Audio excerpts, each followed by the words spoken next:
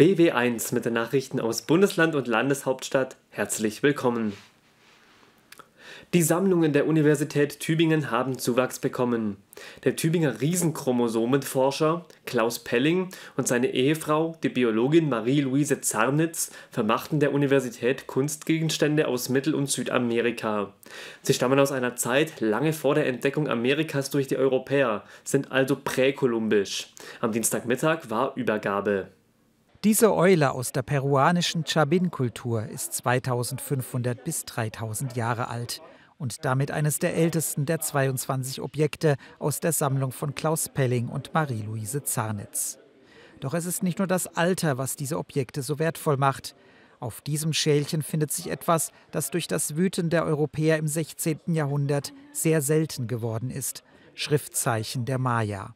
Was ich zu dieser Schenkung sage, es ist für uns natürlich eine riesige Freude. Gleichzeitig ist es eine große Verpflichtung. Wir haben äh, fast 75 wissenschaftliche Sammlungen an der Universität, die größte Anzahl an einer deutschen Uni. Und für uns sind das natürlich Aufgaben. Vor allem, es gibt in Tübingen keine Experten, keinen Lehrstuhl für Mesoamerikanistik, der dafür zuständig wäre. Trotzdem sollen die Objekte im November in einer Sonderausstellung und langfristig in der Dauerausstellung zu sehen sein.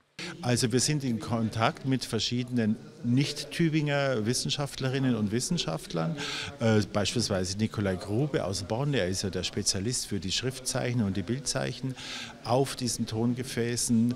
Äh, wir suchen natürlich nach den Fachwissenschaftlerinnen und Fachwissenschaftlern, um das Ganze zu publizieren. Die Kunstwerke, wie hier echtes Gold aus der peruanischen Paracas-Kultur, haben die beiden Eheleute bei bekannten Auktionshäusern und renommierten Händlern erworben. Zum Teil hatten sie auch dafür Kredite aufgenommen. Marie-Louise Zahnitz starb 2020 und drei Jahre später ihr Ehemann. Jetzt äh, zu seinem Tod wollte er äh, erneut dieser seiner Alma Mater nochmal äh, etwas äh, zugutekommen lassen und fand, dass äh, im Schloss diese, wie er sich ausdrückte, kleine, aber feine Sammlung schön repräsentiert ist. Deshalb gab es im Testament auch Auflagen. Erstens die Kommunikation der Schenkung, zweitens eine Sonderausstellung mit dazugehörigem Katalog und drittens, dass die Kunstwerke ihren Weg in die Dauerausstellung finden. Bei einem Großbrand in einem Pforzheimer Gewerbegebiet ist heute eine Lagerhalle fast komplett zerstört worden. Über Stunden war die B10 wegen des Löscheinsatzes gesperrt. Sechs angrenzende Häuser haben die Einsatzkräfte vorsorglich evakuiert und zehn Bewohner in Sicherheit gebracht. Aufgrund der starken Rauchentwicklung kam die Warn-App Nina zum Einsatz. Warum das Feuer ausgebrochen ist, ist bislang noch unklar.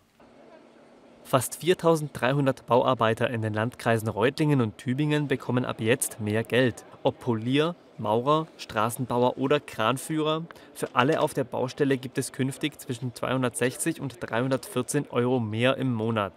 Das mache die Arbeit deutlich attraktiver, heißt es von der IG Bau zum aktuellen Tarifabschluss.